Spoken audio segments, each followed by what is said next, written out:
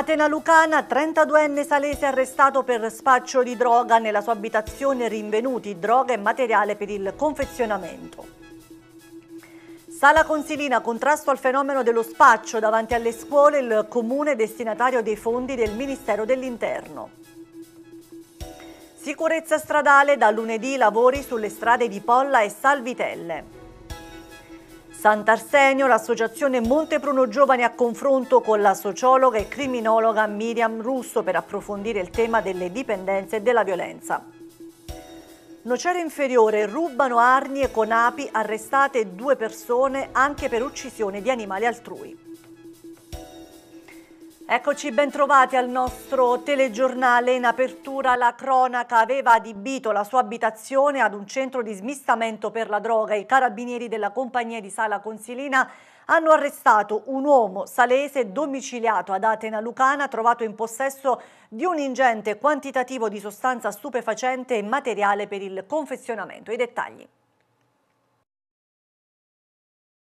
Un 32enne di Sala Consilina ma domiciliato ad Atena Lucana è stato tratto in arresto dai carabinieri della compagnia di Sala Consilina guidati dal capitano Roberto Bertini per il reato di detenzione ai fini di spaccio di sostanza stupefacente.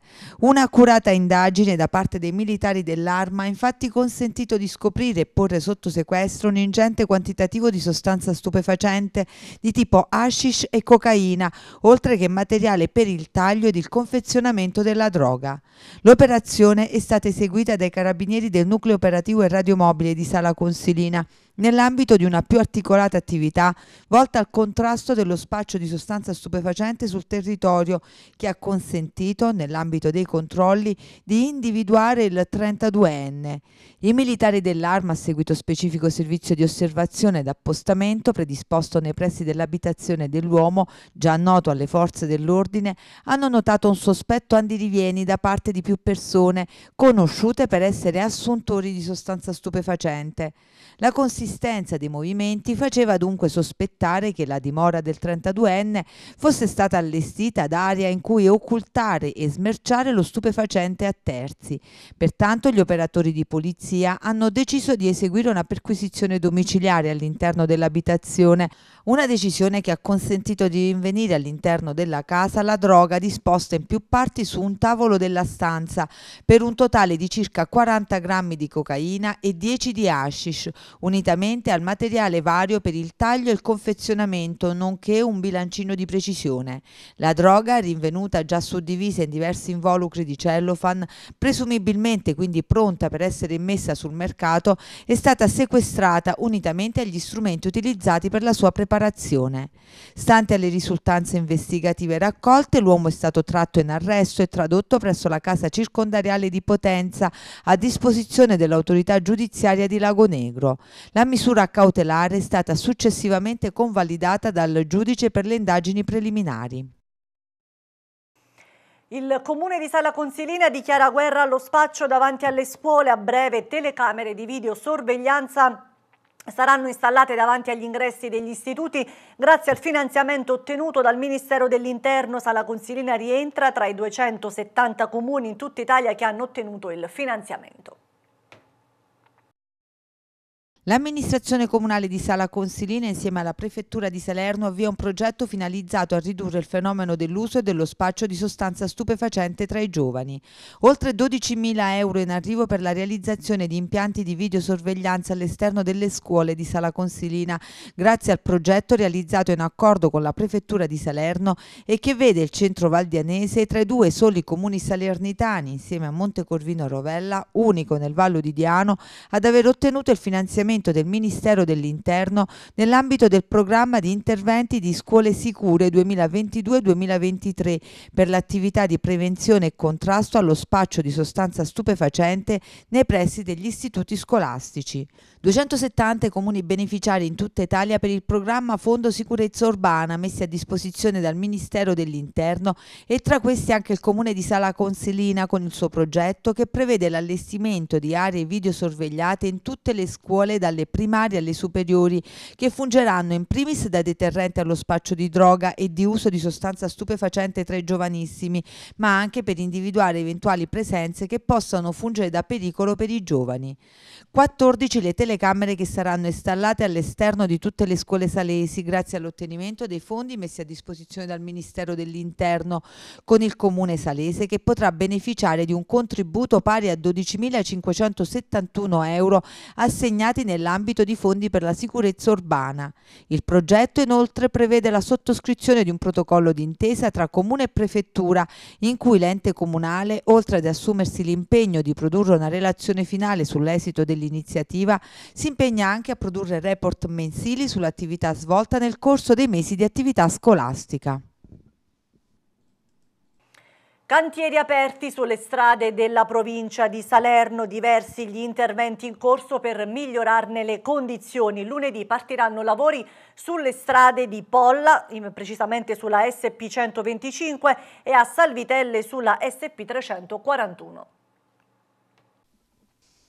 Cantieri aperti sulle strade della provincia di Salerno, diversi gli interventi in corso in programma per migliorarne le condizioni. Nello specifico partiranno lavori a Polla e a Salvitelle. Palazzo Sant'Agostino ha annunciato di consegnare lunedì i due interventi di miglioramento della sicurezza stradale. Uno riguarda la SP 125 nel comune di Polla per un importo di poco più di 83.000 euro. L'altro è previsto sulla SP 341 nel comune di Salvitelle, qui per un importo di 127.000 2.600 euro. I lavori, spiegano dalla provincia, vengono consegnati presumibilmente il giorno 7 novembre. Il primo intervento, quello sulla SP 125, prevede l'integrale riqualificazione dell'asse stradale in ambito urbano di accesso al centro abitato, ovvero dall'ospedale fino alla fine della centrale via Curto, con il rifacimento del tappetino d'usura e il risagoma del piano viabile per un tratto di circa 600 metri, compresa la riqualificazione della segnaletica orizzontale verticale verticale e in particolare delle intersezioni stradali. Il secondo intervento invece è sulla SP 341 nel comune di Salvitelle. Anche qui sono previsti lavori di rifacimento integrale della pavimentazione per un tratto di circa 1630 metri con risagoma in tratti saltuari in conglomerato bituminoso a caldo e successiva rullatura con la riqualificazione della segnaletica orizzontale e verticale e in particolare dell'incrocio con la SR 94B. Sulla SP 341 Salvitelle Caggiano le condizioni dell'arteria sono particolarmente critiche, sono diversi i punti che risultano interessati da smottamenti e piccole frane che rendono pericolosa la viabilità su quel tratto. Necessita infatti di interventi presentando una situazione di viabilità compromessa. In tema di sicurezza stradale per il piccolo comune la situazione è critica non essendo messe meglio le altre vie di collegamento come la SR 407 Buccino Salvitelle Vietri con frane e smottamenti e uguale situazione per la ex SR94 Salvitelle Auletta. Nella serata di ieri, presso la Sala Cultura della Banca Montepruno a Sant'Arsenio, l'associazione Montepruno Giovani, presieduta da Sebastiano Greco, ha ospitato la dottoressa sociologa e criminologa Miriam Russo per un incontro formativo e informativo che ha permesso di prendere coscienza con il del mondo delle dipendenze e gli, effetti prodotti sia sulla persona coinvolta sia sulla società in generale. Nella sua relazione la dottoressa Russo ha trattato in maniera dettagliata le varie forme di dipendenza quali droga, alcol, social, alimentazione e altre analizzando gli effetti sulla persona. Un appuntamento di grande interesse realizzato grazie al sostegno della Banca Montepruno che non ha voluto far mancare il suo supporto per l'impegno da sempre manifestato nella valorizzazione dei giovani, sostenendoli nella crescita e nella diffusione di valori sani e anche per il ruolo importante che simili appuntamenti possono rivestire nella costruzione di una società migliore. A concludere i lavori il direttore generale della Banca Montepruno Michele Albanese che riprendendo le tematiche discusse ha esortato i giovani dell'associazione a continuare in questa direzione in modo da sensibilizzare la popolazione su temi di strettissima attualità. Ha sottolineato inoltre l'esigenza del confronto continuo tra le varie generazioni affinché situazioni di malessere legate alle dipendenze possano essere affrontate tempestivamente prima che sfocino in gesti delittuosi. Ascoltiamo le interviste realizzate al presidente dell'Associazione Montepruno Giovani Sebastiano Greco e alla dottoressa Miriam Russo.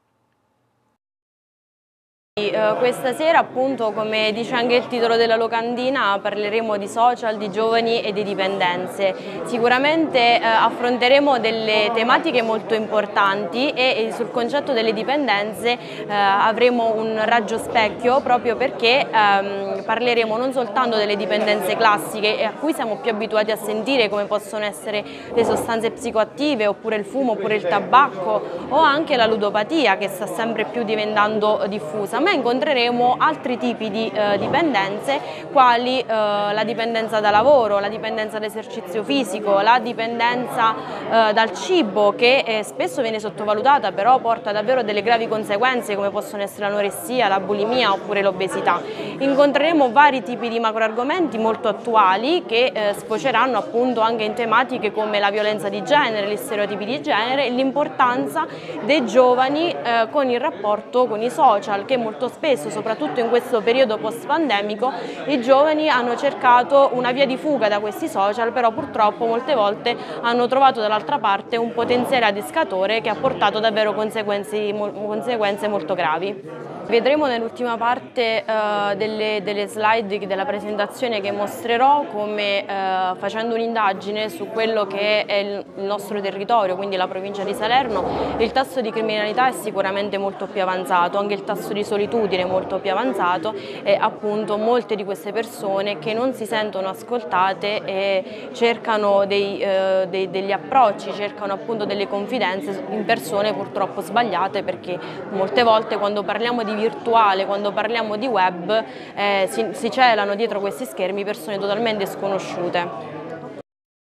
Il convegno di oggi è appunto moderato eh, da una giovanissima, la consigliera Anna Maria Lotirzo e eh, è, è, portato avanti da una relatrice, anch'essa molto giovane, la dottoressa Miriam Russo, sociologa e criminologa. In questo incontro di oggi abbiamo voluto innanzitutto fare una distinzione particolare tra i di, vari tipi di dipendenze che possono, essere, eh, possono colpire i vari giovani eh, di tutte le fasce d'età e poi come possono sfociare queste dipendenze in violenze di genere, in episodi di violenza eh, al limite, ehm, dall'alcol eh, dall alle smart drugs, eh, dall'abuso di, eh, di, di social media, quindi l'utilizzo sbagliato dei social media e del, dei networks eh, fino ad arrivare appunto al, alle, alle, dipendenze più comuni che possono essere il, sovrallenamento o, o il, la, la, la, dipendenza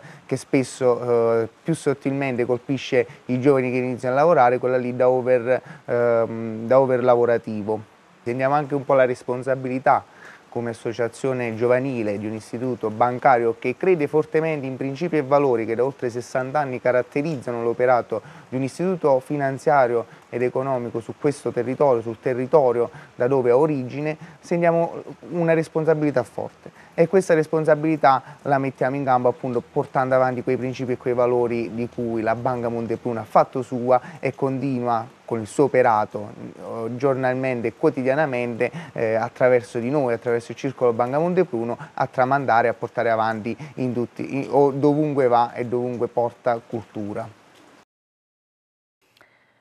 Avevano rubato sei arnie in legno a nocera, eh, a nocera, inferiore contenenti famiglie di api. Due giovani di 32 e 27 anni sono stati sorpresi e arrestati in flagranza di reato. Sono ora ai domiciliari. Alcune api sono morte e devono anche rispondere di uccisione di animali altrui, reato previsto dal codice penale.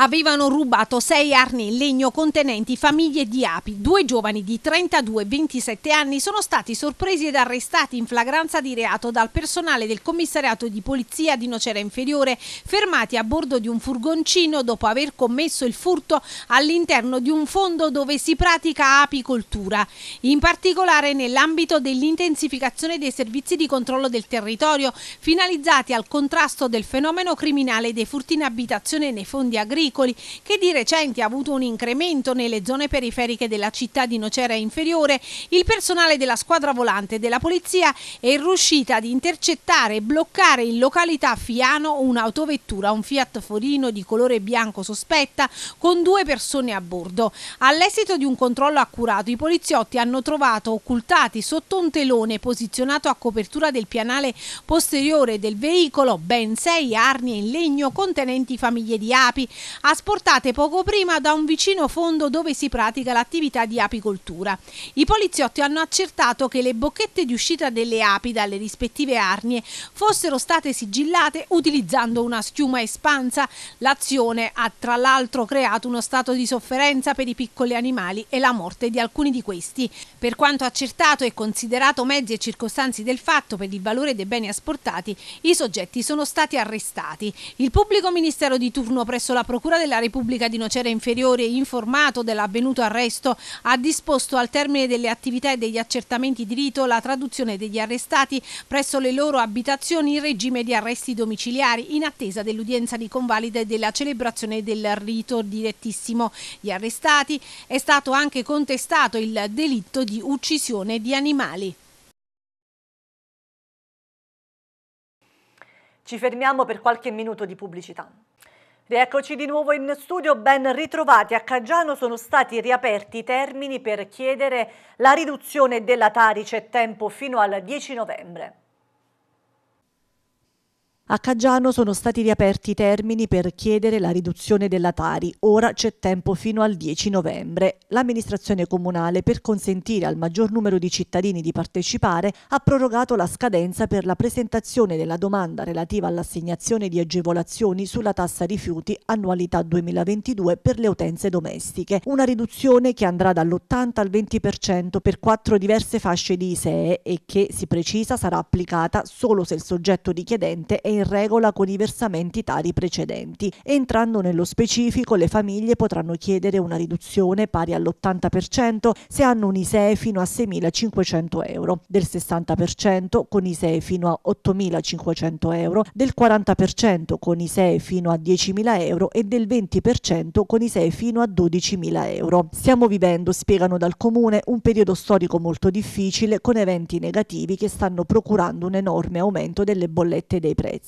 L'agevolazione per l'anno 2022 sarà concessa a seguito della redazione della graduatoria dei beneficiari formulata sulla base del valore ISEE e fino ad esaurimento dei fondi disponibili che precisano sono pari a 8.500 euro. La spesa è finanziata mediante l'utilizzo dei fondi propri disponibili del bilancio comunale del corrente esercizio. Gli interessati dovranno presentare la domanda ora entro il 10 novembre sul modulo scaricabile online. Ieri anche a Salerno, come nel resto del paese, la tradizionale cerimonia per la giornata dell'Unità Nazionale delle Forze Armate organizzata dalla Prefettura in ricordo dell'armistizio di Villa Giusti che sancì la fine della Prima Guerra Mondiale. Ha preso il via da Piazza Vittorio Veneto a Salerno l'insieme di eventi per celebrare anche nel comune di Salerno la giornata delle Forze Armate dell'Unità d'Italia.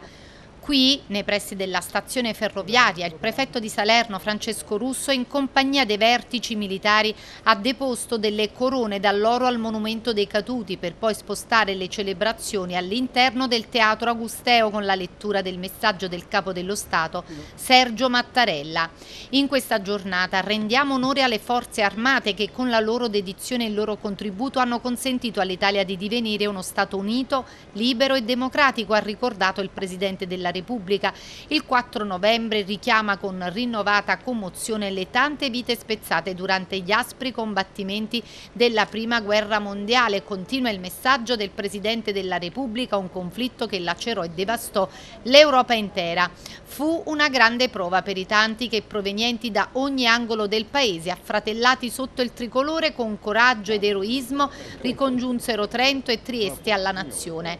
Ed anche il prefetto di Salerno, Francesco Russo, Russo nel suo intervento. Non ha mancato di rivolgere un pensiero all'unità d'Europa pensando alle difficoltà dell'attuale contesto con la guerra in corso in Ucraina. Certo, la memoria è fondamentale, noi ricordiamo soprattutto tutti i caduti delle guerre nella giornata di oggi, quindi da questo punto di vista è una giornata cruciale perché ne abbiamo avuti tanti nel processo di unificazione del Paese durante la, la seconda guerra mondiale e per cui è assolutamente importante. Poi chiaramente in questo noi con il pensiero va a tutti coloro i quali hanno sacrificato la loro vita nella costruzione della democrazia, della, della nostra Repubblica e che anche attraverso diciamo, eh, questo lavoro quotidiano poi sono state vittime diciamo, di, di, fatti eh, criminali che sono accaduti negli anni. Quindi diciamo, è eh, un pensiero comune a tutti i nostri defunti per la libertà e per la nostra patria.